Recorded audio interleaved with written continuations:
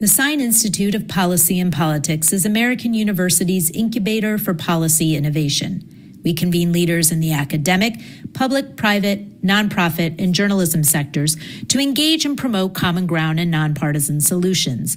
In an evolving world, we seize the opportunity to work on the nation's most pressing challenges through collaboration by experts and top scholars in their field with students in research and scholarship.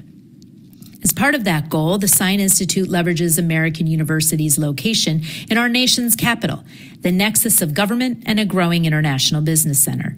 We connect diverse perspectives from around the country and around the world with our world class academics and research, experienced practitioners, and the most politically active student body in the U.S. We stand apart through our focus on the role of business and the nonprofit community in public policy, the rise of the importance of economic regions in the United States, and international policy issues. Our focus is to make an immediate impact at the intersection of policy and politics that leads to real and lasting change. Thank you for joining us as we convene, communicate, and collaborate. And now, Sine Institute 2023 Fellow Anna Deavere Smith. Hello, everyone. Thank you so much for joining us today. My name is Ava Gadden. I'm the administrative assistant for Sine. Um, and I am so proud to welcome our fellow Anna Deavere Smith, playwright, actress, teacher, and author again, and American University alum, Tony winning artistic director for Arena Stage, Molly Smith. Molly, thank you so much for joining us today and for hosting. I couldn't be happier than to be here with Anna. Well, it's my pleasure. I haven't seen you in way too long. 10 Way years? too long, probably 10 10 years. years, Yeah, yeah. yeah, yeah, yeah. I'll never forget Let Me Down Easy here at Arena. It was brilliant. It was a brilliant, brilliant, brilliant production I was about a really important subject, Yeah. which is what you've been involved in your entire career, Anna. I mean, everything that you have touched. I'm really curious to start with something, which is uh, Twilight, uh, Los Angeles. Um, yeah, I mean, you did this at the taper 30 years ago, and then you've done it again. How was it revisiting it? Well, um, the revisit started with the um, Signature Theater, that, as you know, does uh, they have playwright residencies, and in that time, uh, as the so-called, I guess, old playwright, you know, somebody who's been around, um, they do two of your, at least way it worked with me and Paige is she did two of my works, and then I owe her a new work, but. Um, the first was Fires in the Mirror. She wanted to do Fires in the Mirror and Twilight, and we did uh, Fires in the Mirror. And then um, Twilight kept getting postponed because of COVID. But in the midst of COVID, as you well know, in 2020 was the murder of George Floyd, which therefore made uh, a certain relevance. Of, yes, also because of George Floyd happening during COVID, uh, made the show, uh, unfortunately, quite relevant by the time it made it to the stage, uh, which was 2021. Uh, and um, folks in, and it went to the ART, and then folks in LA heard about it, came to see it, and then wanted to do a production of it in LA as this, you know, would it be a celebration? I don't know. Uh, recognition of 30 years. It was 30 years ago that I performed it Mhm. um, as a one person show. Uh, they wanted to use Los Angeles artists only. So sadly for the folks who worked on the New York production, it didn't go there. Um, and that just closed last week. And uh, it's pretty humbling to think that that was 30 years ago that I did the play and it feels like yesterday. It's incredible. And even though this is the type of work that you've been known for, you now have done an enormous right turn and have moved into writing a libretto for an opera, right? Which Yeah. just opened or was running in Chicago. Can you Just closed, yeah. tell us about that and tell us about how the writing process was different for that than for what you did in Twilight?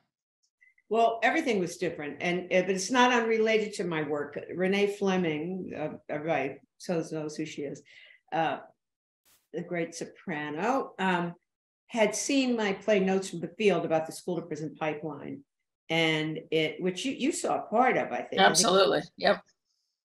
uh, in New York. Um, having seen that, she suggested to me that I write a libretto about gun violence among youth in Chicago. And so uh, my process was very similar. Um, I knew about an organization called Chicago Cred, co-founded by Arne Duncan and uh, Laurene. In fact, um, I had been invited to go and see them in 2018 and, and didn't have a chance to. But at any rate, uh, I did interviews of people who were in- involved in gang violence. Arne's idea, former Secretary of Education under Obama, is uh, to stop gun violence. Let's with the shooters. So a lot of the people who I interviewed were people who had, um, uh, you know, shot somebody, uh, had been incarcerated, and came out. And some of them evolved from participants who were revising their lives to people who are actually fundamental to that that whole staff. And so um, again, I took the job while we were not in COVID. Then in COVID, that meant that I, you know, uh, uh, Molly, that I go, I go where I'm doing the interviews and and and spend time there and really live in the, you know, live near the community, get to know the people. But I couldn't do that, so I did all of the interviews on Zoom. Um, and then I turned in a libretto, which uh, all my work is always too long when it starts. And the composer is Daniel Roumain, uh, Daniel Bernard Roumain, called him DBR, Haitian American, and the director, who's been called by um, the New York Times opera's new disruptor, and I uh, then, you know, descended on that very fat script. But the surprise for me, uh, which turned out to be a wonderful surprise, but shocking at first, was when I sent the libretto to the composer, it came back like he just revised it and didn't talk to me. So I was like really puffy. I talked with Amy about this yesterday. I was all puffed up, you know. Not even the New York Times changes my work without discussing it with me. And you know, of course, with a play, nobody can change a word. And uh, Yuval, to his credit, um, who's a brilliant, brilliant collaborator, uh, just really wants to get to yes with everybody. You know, came and saw me in New York and sat down and said, I don't agree with it, but the way opera works is it's all about the composer. And of course, if we start thinking of the operas that we know, you, you don't know who's the librettist of Carmen. You don't know, right? I mean, you don't know who the librettist is. You do know who the composer is. It's the composer's work. But I, um, and uh, Molly, you know, I have a lot of control uh, over the, the work that I do because usually I've been out there. Sometimes I've been in dangerous places by the time I come back, and I function also like a producer, really, of the work. But this was a very different situation where um, uh, I was technically, I suppose, in a backseat, but because of the chemistry between the three of us, we were really joined at the hip. And I have to say, it's one of one of the best collaborations I've ever had in my life. How was it for you working through one of your pieces that was also driven by music? How did that change your your just- writer's brain? I loved it so much because Daniel really, you know, he heard the music and the language, right? That was not a thing that had to be discussed at length. He heard the music and the language. And so, and interestingly enough, I did a little experiment um, when I made a speech about two weeks ago, uh, having heard this music for two years um, one of the two of the characters um, i like spoke at a speech for the first time. And i can only think of them now with the music in my mind Yeah. which is really interesting i always carry the music of the speaking because that's what i'm looking for as you know but now i i cannot and one of them in particular one interview in particular he really he took word for word, you know, just like me. And I cannot read that, think of that without hearing Daniel's music in my mind. You know, I'm so curious to see or hear uh, this opera, Anna, because I believe we haven't found the right way within our field. And I would open it up to opera to really talk about gun violence in such a way that people hear it. and are moved by it and the right people are moved by it if there are right people to be moved by it because that it's it's just a really difficult um, part of how do you communicate with people about this epidemic that we're going through and how do you communicate with people in such a way that suddenly their minds are going to be formed in a different way. Uh, somebody's just asking, where can those of us outside of Chicago see this performed? And I would um, assume. I. Well, they do have some streamed versions of it, but it's highly controlled. I imagine if you contacted the uh, Lyric Opera of Chicago, they, they could think of a way to do that. I think it was connected to performance, though, but they were able, I think, post COVID, because of the, the new set of rules we have with COVID. Because all the unions don't want that to happen, but right. they had kind of special dispensation that they were able to get put some out and um, put some out there. Uh, but you know, I think one of the things you um, pointed to is something I, I, think it would be great for you to chime in on too, which is that like uh, makes me think about um, the late Madeleine Albright, who I also at one point interviewed and performed, talking about her diplomatic toolbox. And yeah. we have a certain toolbox through which we communicate. And everything in our toolbox is about attracting attention and, and, and, communicating. It's a nice way to put it, but it's it's about attracting attention, like peacocks, you know, have, you know, or when a bear stands up. Right. And you might know about that coming. I do. I do. but um, so beauty, beauty. So here's a story. One of the stories uh, was a story of a woman who was a young woman driving to a laundromat with her toddler in the back. Sincere was his name. Her name is Yasmin. And someone randomly shot at the car, killed Sincere, and injured her. That's a dark story. And in fact, very difficult for the singers. But the beauty of the music and the beauty of the voice of the woman singing, the mother, uh, based on my interview of, of my it was my interview in music, and the beauty of the staging. You people were riveted. And so the very things that we might want to turn away from, we have an opportunity. Well, some people w- want to um, Peter Sellars asked him to direct something of mine, and he said, "Well, you know, I think Anna, you want to keep people in the theater. I don't mind if they leave. I mean, you and I have in common that we want people to stay, and so we do things, and you know about those things. So I'm asking you to talk about them. You know, we do things to hold people's attention. Right.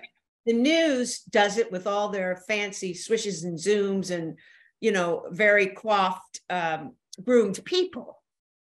But I don't think that goes right straight through you the way the tools we have go right straight through. I mean, why don't you say something about? I don't want to do all the talk. Well, you know, it's interesting. I just saw uh, Blue here, which is uh, written by Tazewell Thompson, and uh, Jeanine Tesori has has written as is the composer on it and it is about gun violence as well. And that is exactly how they were able to rivet the audience, is because of the absolute stark beauty of this production and the kind of music that was utilized.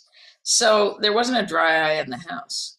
Now, I wonder how many of those audience members will take those ideas outside and into their lives I don't know. That's that's always the problem, right? That's the hardest part, and I think, um, you know, uh, look, I mean, you know that I had an institute at Harvard for three summers just to answer that question. Yeah.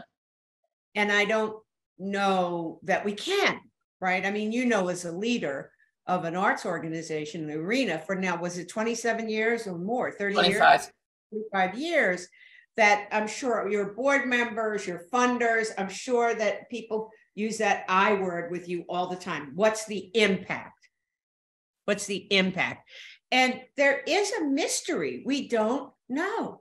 You know, I mean, we don't know. I, I'm I was you know, for me, it meant so much, for example, that Chicago Cred is such an amazing organization that people came to rehearsals to think about therapy, a therapist and another uh, coach, life coach came to rehearsals to see if they felt Yasmin Miller could see this story about what happened.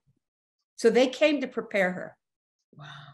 And I just also want to say one of the things that shocked me is after the, you know, after it was they saw it the first time, the therapist leaned over and said, Well, you know, the person I'm most concerned about is Miss Rochelle, who works at Chicago Cred. She said, because she taught that baby to walk. So it wasn't just how it affected the mother, how it would affect the mother, but how it would affect the whole community. And Arne told me that Yasmin called him the night she was there opening night and said, you know, they baby, they kept my baby's name alive.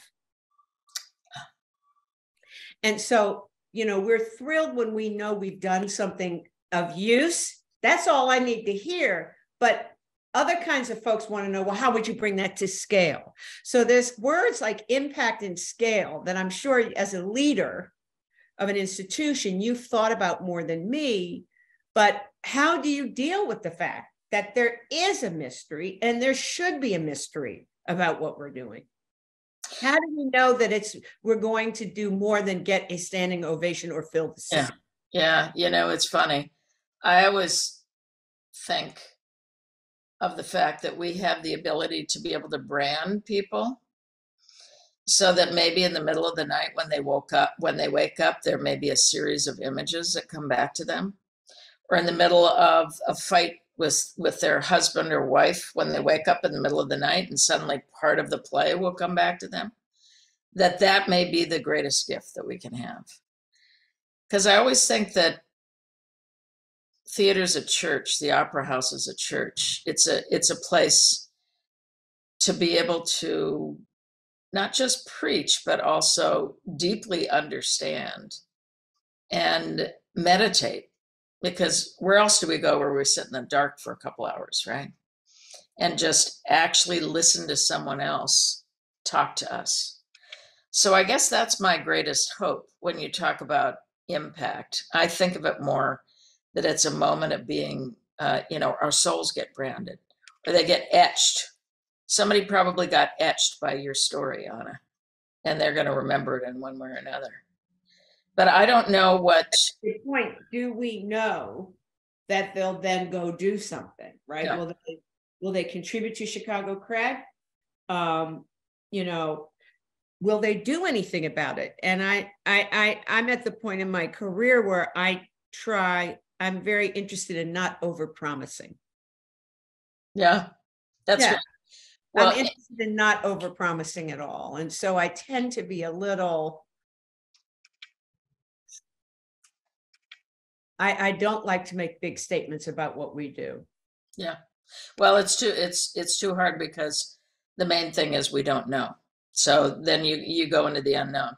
Really interesting question just came in the chat, which is can you talk about a time in your career when you were not succeeding? And what did you do about it? Yesterday, today. I'm on a deadline that just won't get done. And it's not that I have writer's block, it's that it's just really, really hard to get a grip on the story. And because I don't have that piece in, I'm late on something else where they have no sense of humor about the fact that it's late. today and last week, I have felt like a complete and utter failure. So I don't think like success is a static thing. so, like right now, I don't feel successful at all.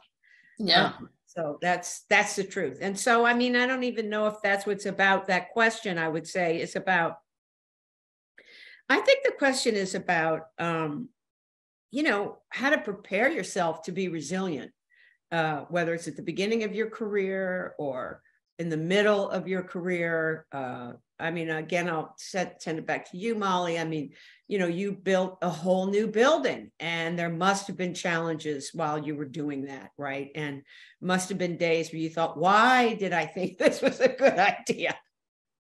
Well, it was more than that. It was, oh my God, we're going to fail. Right. We're going to fail. Or waking up in the middle of the night saying, what, what are we going to do? And then there was something in the universe that would give another idea, or I would reach out to somebody else and use my resources in a different way. And by resources, I mean people, because it's always through people that you get things done. And suddenly another idea would come and the wheels would start to spin and we'd be able to do it.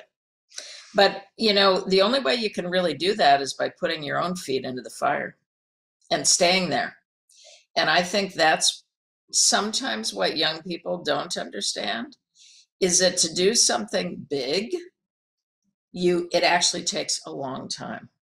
It's not a short time. It's not a flash in the pan. It's not one and done.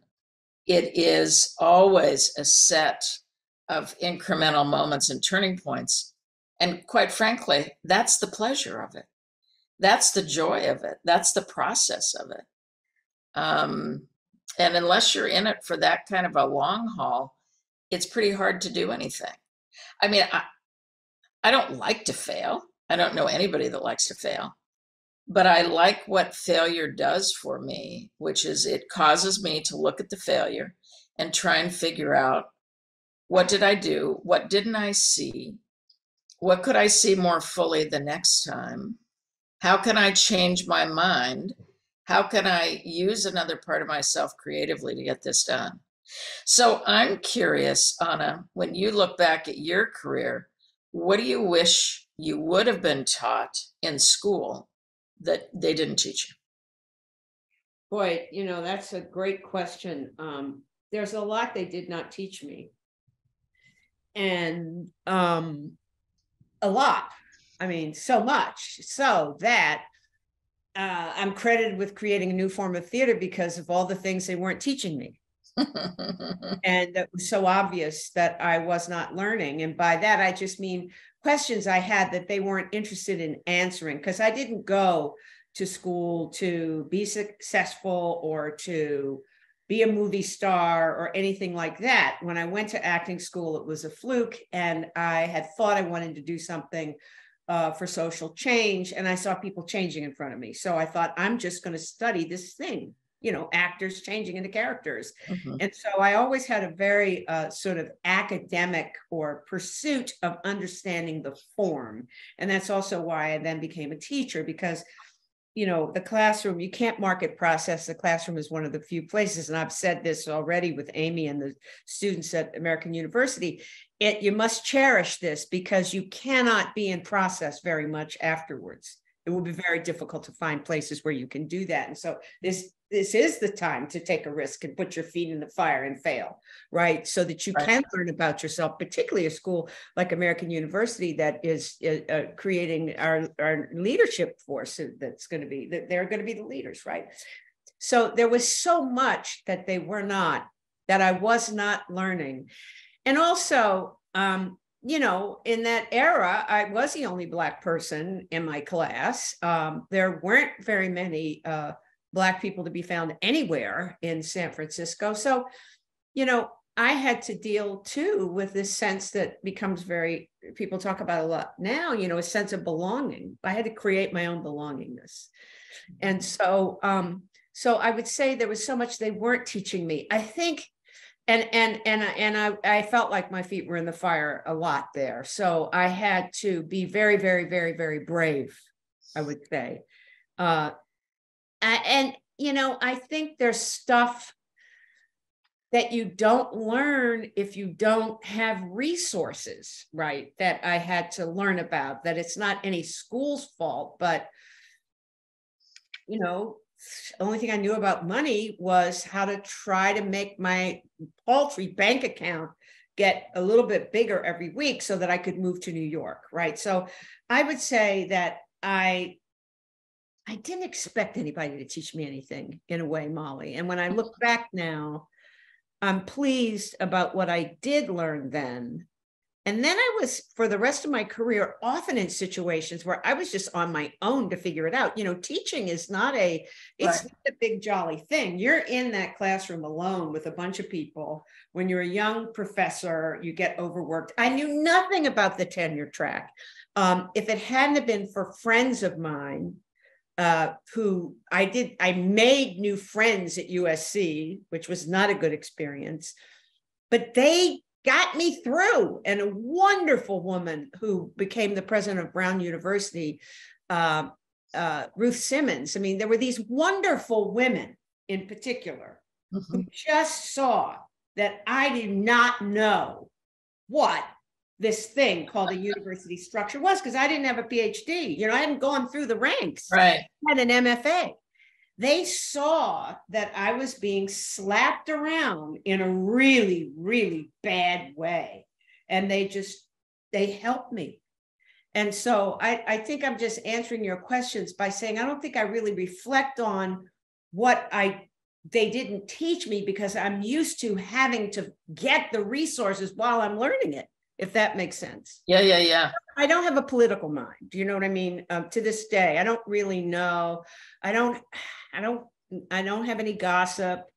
Uh, in general, that's not my personality. I'm, I'm not saying it's a good thing or a bad thing. I don't know what's behind the scene in institutions. I never have that information. And you do need to know that. Yeah. Yeah.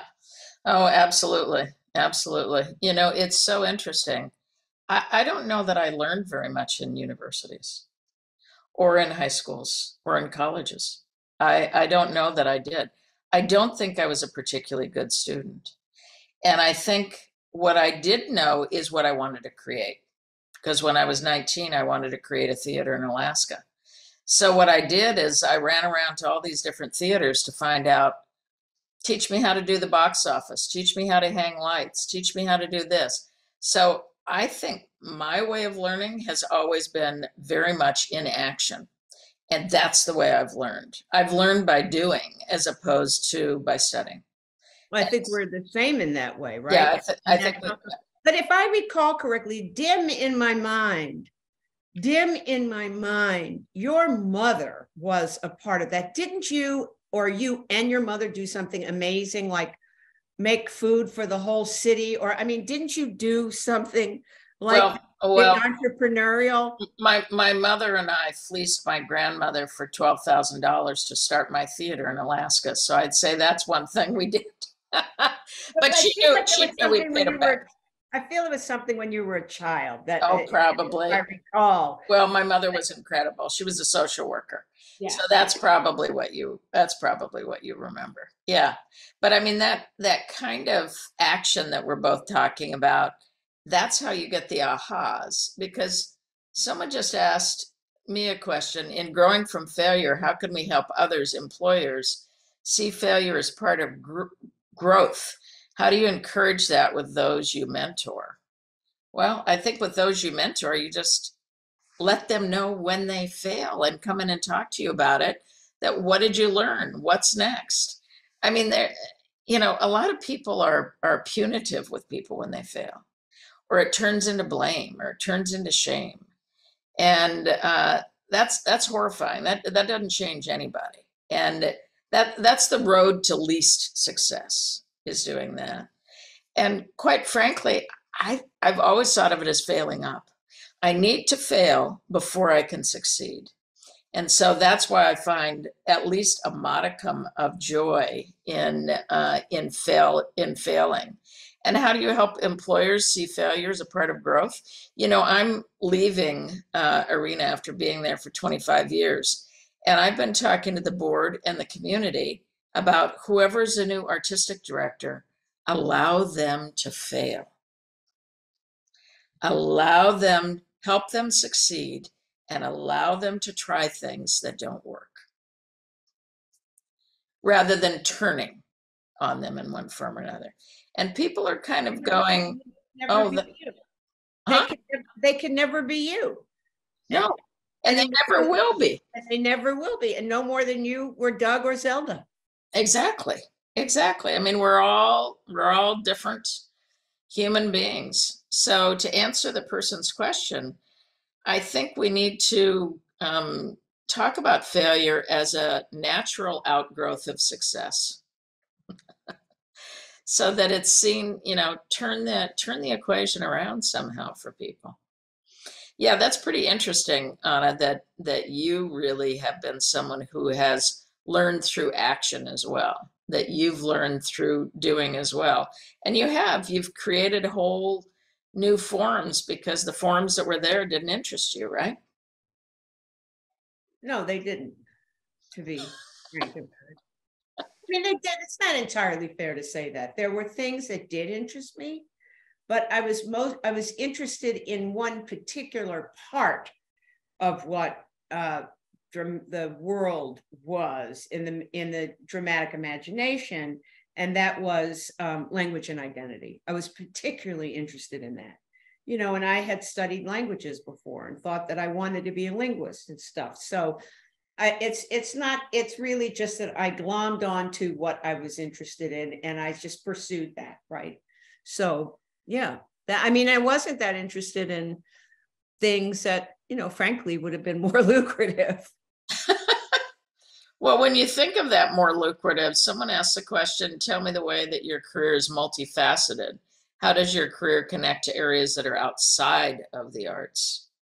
Um well even inside of the arts you know my my agents always have to to the extent that they even put up with me about this they kind of have to pull me screaming and kicking to like take a job in television or movies but those are the jobs that pay money and if i walk down the street people don't know. They don't know about let me down easy. They know about you know mrs Akalitus on uh, nurse jackie or the west wing when i was on the west wing. That's what they know. So um, you know, I would be wiser if I had cultivated that stuff that that I didn't. But that wasn't your question. What was your what, so so inside of the arts, I yeah. have a, yeah. very multifaceted thing and right. going on, and and I'm still teaching. I've been teaching since 1973. I, um, this weekend will be my classes last classes uh, of the uh, for the semester, and you know, so I'm still teaching uh, and but it's related to art. It's not like I'm teaching chemistry or something.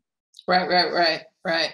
And as you uh, as you work and think about what's happening now in American theater, I'm curious about what's giving you hope and what's causing you concern, and what is the most exciting changes uh, that you've seen recently in uh, theater in the United States. Well, I'm I'm very concerned about two things that um, you know I'm I be, have to be careful how I say it. I'm I'm concerned about.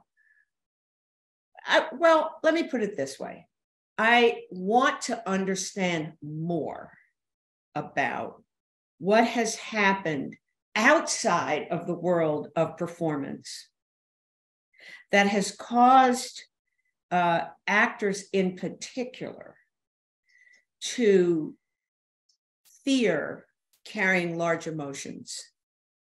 Mm. And um, this is something that I also was trying to start a conversation about at American University.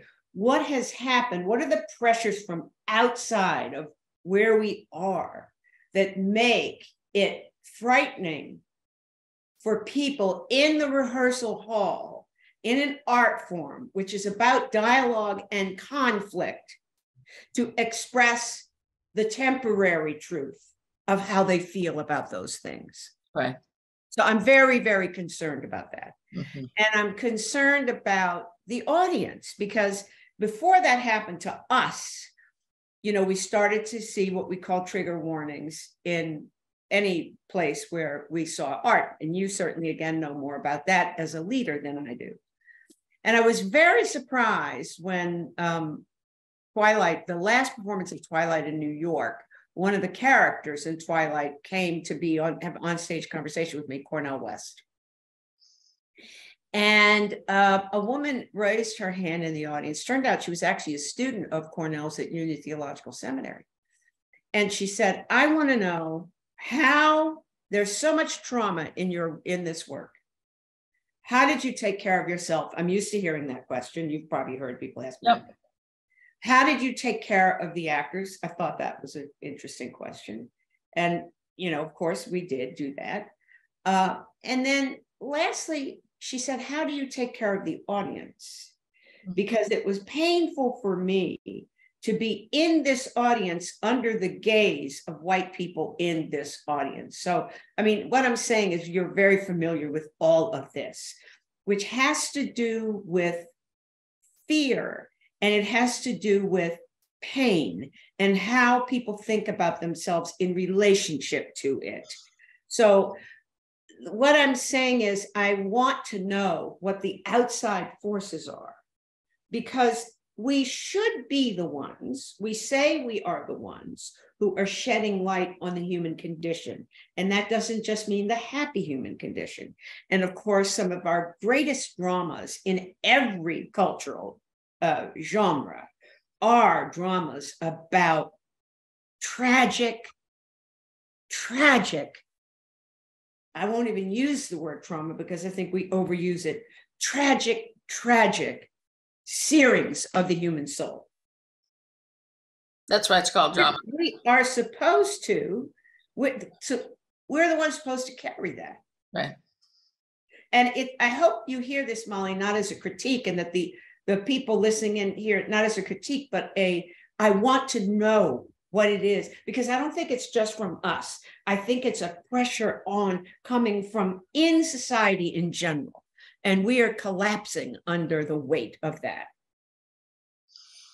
Yeah, it's very interesting uh, to me, this conversation, because we've had it a lot at Arena too. As people have said, you know, this story uh, has so much intensity in it and so much for us to uh, to fear in it. And so I, I sat down and I just started making a, a list of uh, plays that have trauma in them, because I'm going to have to use that word. And uh, most everything Tennessee Williams wrote, most everything August Wilson wrote, most everything that uh, Eugene O'Neill wrote. Uh, the Greeks gouging your eyes out. I mean, it's that is drama. That is partly our purpose is actually to go in and excavate that, shine a light on it so that audiences can experience it and leave somehow refreshed because it's someone else on stage who is carrying that. It's not us. And it's someone who is an actor and is a chameleon and actually wants to carry that. That's actually their gift. Their gift is their ability to become someone who takes on that kind of story. So, um, this whole conversation has been really, really interesting to me about how do you take care of everybody? Well, at a certain point, it would be a pretty dry theater if there was not uh, friction and the dynamic of uh, death and fear and having one's back against the wall and having to fight your way out. I mean, that's what drama is. That's what theater is. Yeah, I mean, I think we have to, um, you know, and this has to do too with support. People say, oh, in Europe, there's support, and there should be more support here. But as you know very well, there is a way that we're always earning our place. Right. We're always earning our place. It is not given. And I feel part of that place is exactly what you just said is that we're carrying this for the benefit of the audience and that we're doing it in a way that is not therapy. It's not right. pathology. We're not calling anybody anything. We're not judging anybody. We can't because, you know, when you carry it, you have to love it. You know, we're not high and mighty about it and saying we know the answer. We're presenting it in a way that in success, someone in the audience can can feel the reach of it and themselves either feel less lonely or more consolation or with let me down easy i can't tell you how many times people came up to me and said this play helped me so much with my the death of my mother That's right. back over the death of my mother or the death of my uh, you know, father. And, you know, we wouldn't even say that the play was about death. We said it was about, you know, the, the, the, the, I know not about you, but transitions. It was about the, the resilience of the soul and the whatever we said. We didn't say it was about death. Nobody would come. Right. but in fact, it meant so much to people because it did touch them in that place that had to do with death, fear of death, uh, uh, near misses with it, helping someone who had a near miss. So, so yeah, uh, I just um, that's what we should we that's what I feel what we're earning our place to do. It would be great if I don't know about you, I don't have a patron who's just got written me this one big check um, to say, you know, this is for you for the rest of your life. Do as you wish. Uh, I mean, um, and so we do, we we earn our place, and I think that's one way we earn it. In addition to being really funny, or you know, making something really beautiful, or being really beautiful, or being able to leap really high. I mean, right? All of that. We are entertainers too. Right, right. You know, we're doing a production of Angels in America right now and uh, János Szász, who's a great Hungarian director, is directing it, and it's a fever dream. And uh, it's some of the back, best acting that I've seen in years that is playing out on the stage right now. And some of the most difficult roles, right? Uh, and the actors absolutely love it. And so does the audience. Because the audiences are invested in the story and in going through the story. I've had a number of gay men that want haven't wanted to see it. Oh, really? I can't go back and see that time again. I didn't see the play then. I can't see it now. And then a number of them have come in and just said, "Oh my God, you know, he is a great writer." Um, but without the ability to show the angels in America, then you don't have the ability to show a POTUS, which is going to make us all laugh and fall out of the chairs exactly what you're saying. This range that we have in the American theater is so exciting. I think the problem is when one gets stuck on only part of the range and keeps playing that same narrow section over and over again. And that's when audiences feel like they're being banged over the head by it. I think that's I think that's the difference. And because we've been in COVID land for two years, two and a half years, almost three years, in one way or another, the all, the whole theater world really turned inward on mm-hmm. itself and looked at everything from pay scales to we see you white american theater to the hashtag me too movement to, i mean we could just go on and on and on and I think we're in the middle of a new revolution because of that. And I also fear that what's happening is a lot of people are eating each other up within the theater ecology over all these things, whether it has to do with race, whether it has to do with rich versus poor, uh, whether it's young versus old. And instead of turning that out, back out to society, because that's what's going on in society, are acting that out internally within organizations. And that's one of the things that I fear on it right now. But I think in a way we're, we're saying the same, we're, we're, we're, what we're saying are cousins to each other, which is yes. that my fear is about uh, uh, a trepidation about uh, emotions and a trepidation about ideas and i think it's the same same thing that i'm that it's it is coming from the outside and we should be turning that out rather than just absorbing that as our norm. That's the norm outside. And if we do, if we can resist absorbing it as our norm, yeah. we can be helpful. We can be helpful. We can try to encourage people to be courageous, right? And forgiving and give people the benefit of the doubt and all of these things. I mean, you're in Washington. So you mm-hmm. you also feel it very much. I, I, but I hope that there is a true revolution in the theater because, you know, in my lifetime, what I've seen is that the window opens, everybody gets really excited, but it does close. Yeah.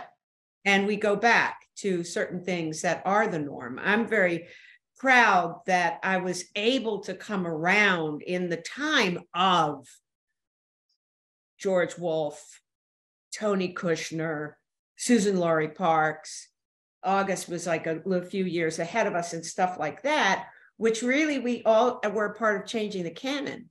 And it was just so great that even if you didn't know these people, to go see their work and go, oh, we're breaking from the norm. That's right.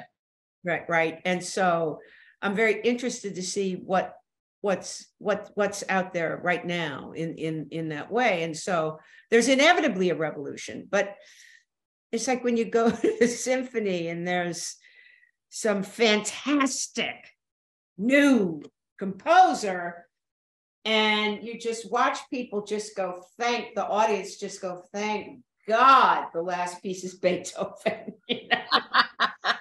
you can feel the sigh like that they have to put up with this new classical music. But new classical music is 40 or 50 years old by now right? That's right.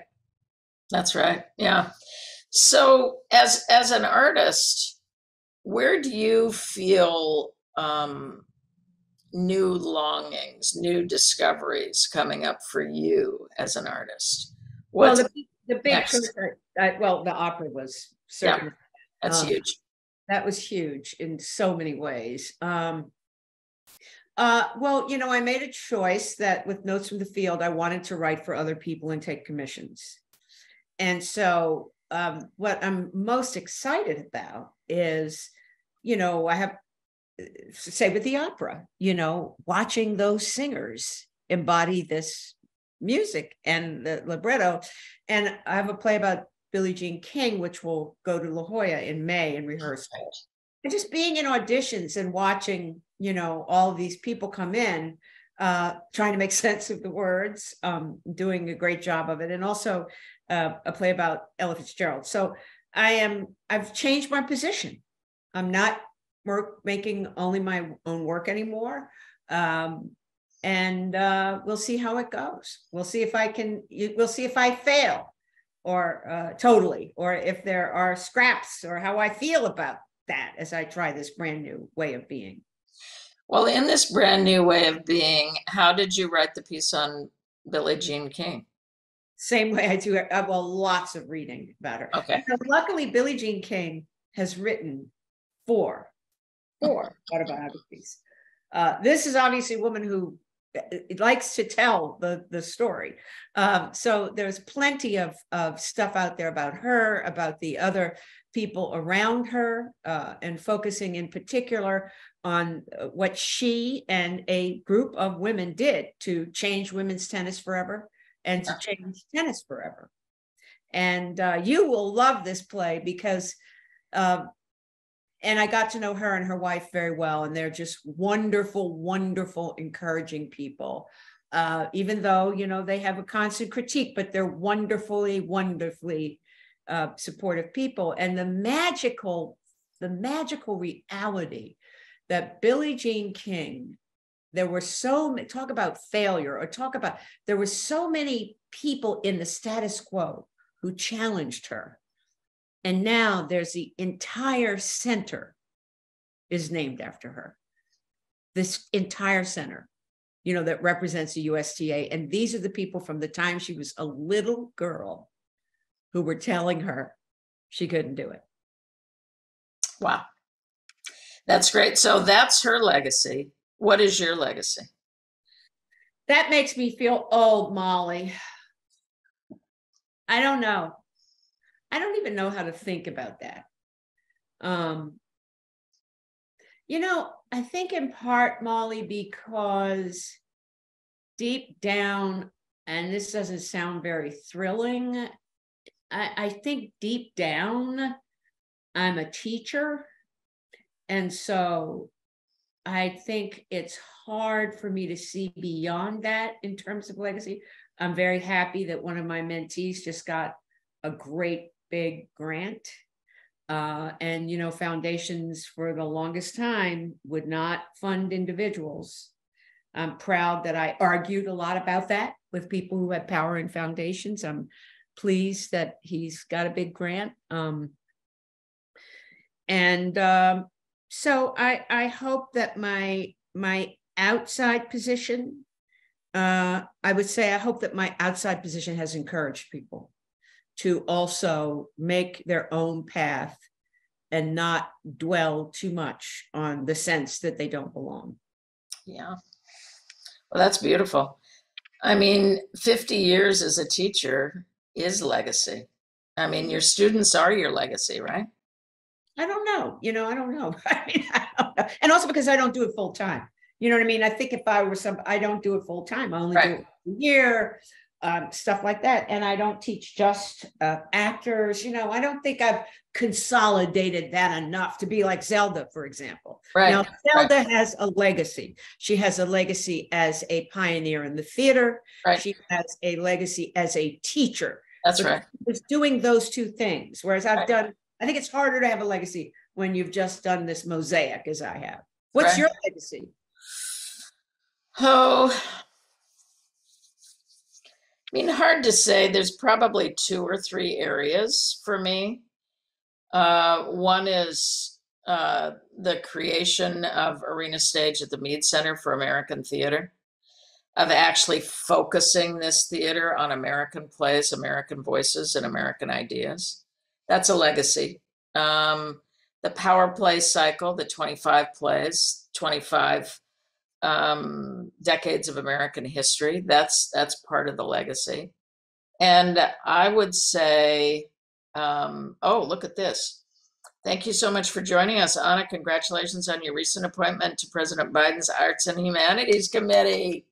That's so fantastic. That's going to be great. That's going to be great.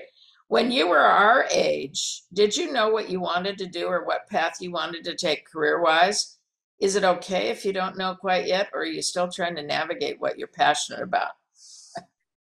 Um, well, I, it wasn't concrete, you know, I, as I say, I had a question and I think that you, you know, college, university should be about finding your questions, not your answers. So I had a big, big question, which was, what is the relationship of language to identity? And um, I was more concerned about investigating that than having a career. Uh, and in fact, the time that I was able to get the most headway on that was a time that I decided, much to everybody's shock, to leave a tenure track position, the first one I had at Carnegie Mellon, a fantastic university, to leave and go to New York and walk dogs. And, um, you know, and I was able to really, in that time of, of just walking dogs and having temp jobs, and not having work I had to take home at night or wake up in the middle of the night worried about, you know, students and so forth, that I created what I do.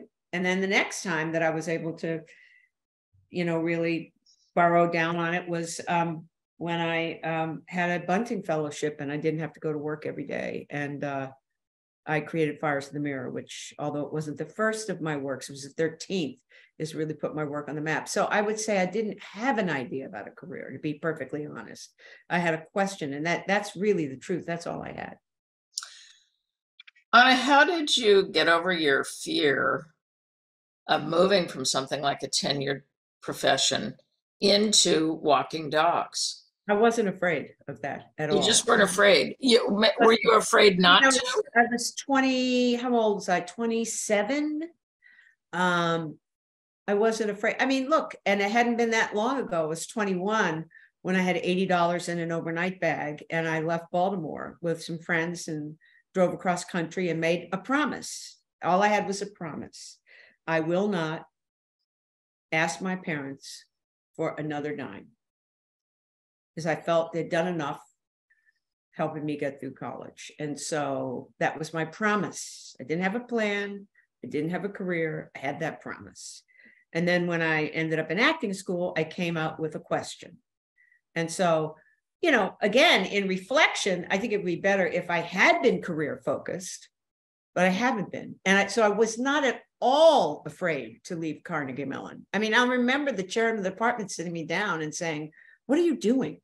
You're you're a woman, you're black, you're an actor. This is a tenure track position. Do you know how long it will be before that will come around for you again? And you said it didn't matter. Didn't matter. I didn't say that. I was very, very polite. I'm not sure what I did. I probably curtsied and left. I probably said, thank you so much, Walter, and curtsied and left. I was very polite. I know it might be hard to believe. I was very, very Baltimore gracious, very. Very, You. You know, I was just a kid when I decided I wanted to start a theater in Alaska. I was 19. I was over in Europe with a backpack on. Then I spent the next seven years figuring it out. So I think I've, I've got the kind of personality that goes, I've got a purpose, and I just, everybody thinks I'm nutty around me because I'm so focused. And But I- but I think what you've just said in terms of the the uh, not just the young people but everybody listening in is maybe maybe it's just more important to think like what's my purpose than what's my career. yeah, totally, What, what's my purpose? totally, totally. And it, will- it's not about the box of that career. yeah. I mean, I- Yeah. right. I didn't ever think about a career. It was, I was passionate about theater and I wanted to start a theater company and I wanted to direct. And at that time, women were not being allowed to direct. You couldn't, you couldn't get a directing job to save your life. And how many women directors were there in Alaska for you to model yourself after? None. None. No role models, right? It was me. Yeah. Um, someone just said in a career where you're working with so many different types of people with different artistic styles, how do you navigate all these working relationships, which I'm sure can be challenging? Well, I feel, you know, in a way, it works the best when I'm in a situation where I'm learning, like with the opera, you know, that Yeah. I have so much to learn. And um, also, and I brought this up with Amy yesterday, I think it was really important that Yuval, the disruptor, the the the, the new disrupt operator, this new dis, disruptor is 42. And we were like this, like this. I think cross generational relationships are really, really important. Yeah. And I don't think he ever asked me for any wisdom. It's not, I didn't, I, I was so happy I didn't have that role. I don't like that role when people think I'm wise. Not at all. Not at all. No deference, right? Not at all. But just that I think, I just think there's a lot of promise in that, right? So, Yeah. and when I go to Hollywood, um, I mean, it's just a whole different thing. And, you know, again, you figure out that it's really important to do what they tell you to do. You know, I've worked luckily in places that have no asshole policies.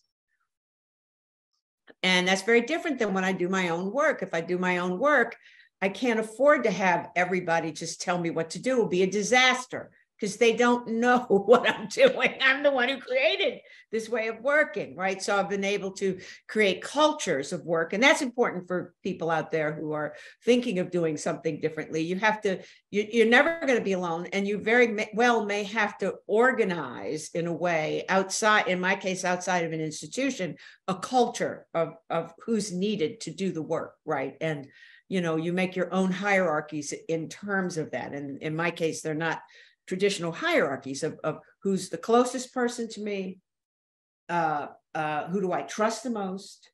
You know, it's it's not the norm, right? Uh, and in fact, it shows up in their pay, and I have to I supplement the pay of the people who, on an org chart, would be considered maybe the least important are the most important to me. So you have to you have to make your own org chart very often. I would say, don't you think? I mean, even you we hear you walk into a theater, you didn't just take the org chart that was there, right? No, I tried to flatten it. You know, when I realized that I was going to be leaving Arena about a year and a half ago, I went back to throwing pots again. I went back to pottery again, Cool. which is something I'd done 50 years ago. I, and in my mind, it was in the kitchen. You're throwing pots and pans. in a pottery studio. And it, you know, it's made me so happy because it's taken me back to beginner's mind where I'm not an expert. I get to learn everything anew, still carrying with it my director's eye, which can take me further than somebody else who's never done any kind of an art form. But I love that ability to be able to mix it up and try something entirely different and stumble and fall and then learn again. I mean, it's it's a great joy. So I would say to all of you out there, if you ever get to that point where you get scared to death, try something entirely different and see how it shakes you up. Just like Anna has done with opera or I did with pottery, because it changes you and then it enriches your life in a whole different way.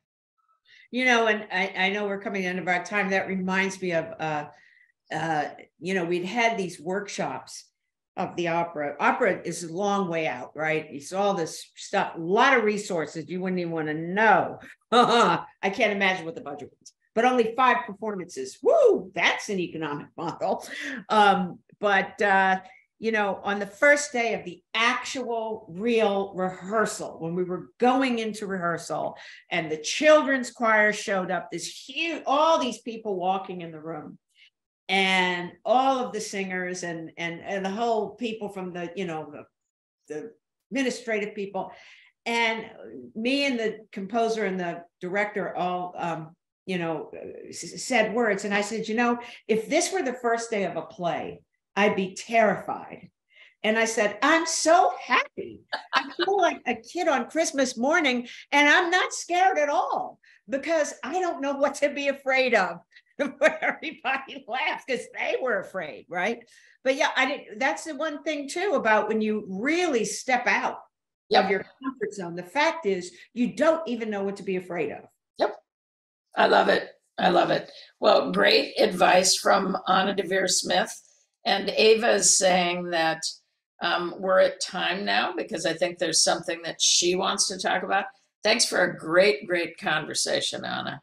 Oh, thank you. It's so great to see you. And I hope I see you in person before your actual last day. Yeah, well, let's do it. Let's we'll keep in touch in some kind of way. I must at least raise a toast to you, Molly, for everything that you've done, uh, not just for the arena, not just for Alaska, not just for Washington, but what you've done for World Theater. And I feel so privileged to have actually had a chance to work at Arena while you were uh, the artistic director.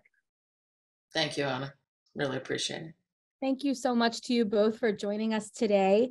Thank you to the Alumni Association for co-sponsoring with us. For any uh, students who are on the call, uh, we have so much wonderful information from the Alumni Association to share with you. I'll just share a little bit of it before everyone logs off. Um, we have some really fabulous alumni programs here at American University.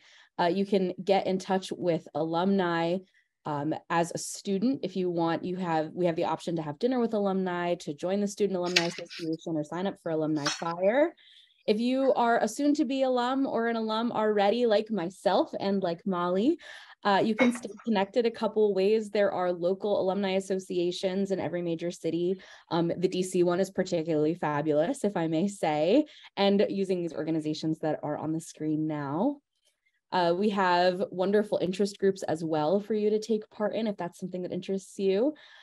Um, Thank you all so much for joining us today. If you have any questions, feel free to reach out to Sine or to the Alumni Association. Thank you again, Molly, for joining us. And we hope to see you all at our next career conversation. Have a wonderful day. Bye-bye.